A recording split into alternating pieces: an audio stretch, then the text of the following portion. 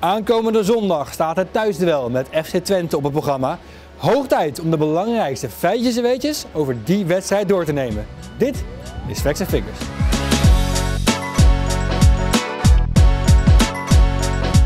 Vorig seizoen werd er hier in Stadion Galgenwaard gelijk gespeeld tussen FC Utrecht en FC Twente.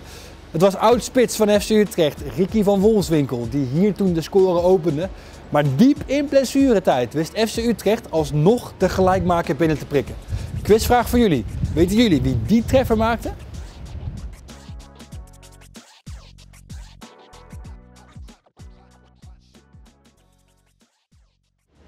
Ja, als je deze weet, dan had je een goed geheugen. Het was Mimoun Mahi die in diep in blessuretijd de gelijkmaker wist binnen te prikken.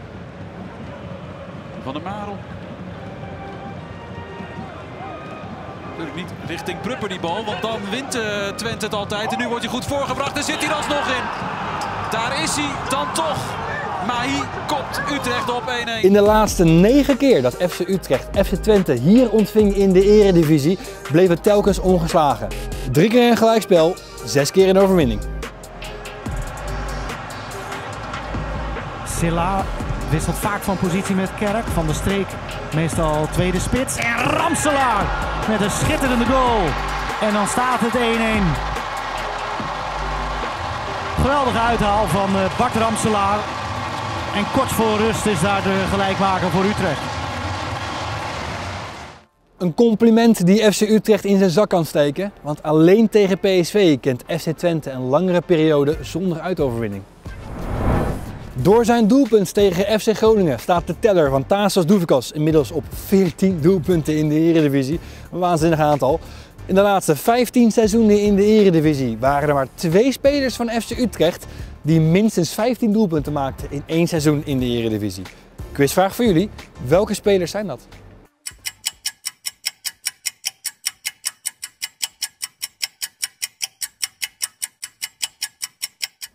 Het antwoord op die vraag was Sebastian Haller en de al eerder genoemde Ricky van Wolfswinkel.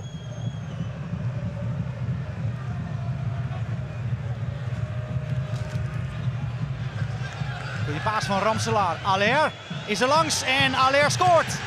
0-2. En Aller maakt zijn tweede. Wat een prachtige assist was het van Bart Ramselaar. Mertens, Azare, Van Wollenswinkel mee, Moulenga mee, Loval mee. Van Wollenswinkel vrij 20 meter. Van Wollenswinkel, hij zit erin. Het goudaantje heeft zijn goal te pakken. En een hele slechte wedstrijd van Utrecht is na dik 80 minuten opeens vergeten. Want Ricky van Wollenswinkel zorgt voor 1-0. In de wedstrijd tegen FC Groningen was Bas Dost weer trefzeker. Het is zijn achtste treffer in de eredivisie dit seizoen en zijn vierde als invaller. Mocht Bas nou aankomende zondag tegen FC Twente als invaller weer het veld inkomen en scoren, dan heeft Bas een unicum te pakken. Het is geen enkele speler van FC Utrecht ooit gelukt om als invaller vijf doelpunten te maken in één seizoen in de Eredivisie. Van der Horen kopt hem voor het doel. Helemaal vogelvrij. Dost.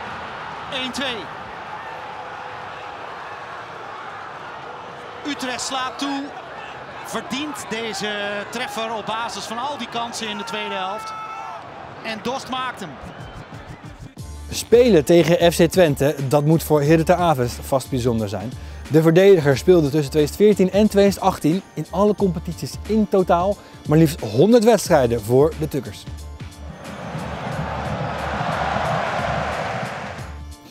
Booth, Sean Kleiber, Rocco Robertshine en Sander van der Streek moeten oppassen dat zij zondag geen gele kaart zullen pakken. De heren staan namelijk op scherp. Dit was de aflevering van Facts and Figures voor deze week. Bedankt voor het kijken. Laat hieronder even achter wat jij denkt dat FC Utrecht FC Twente gaat worden. Etienne, wil jij nog iets zeggen tegen de mensen? Later.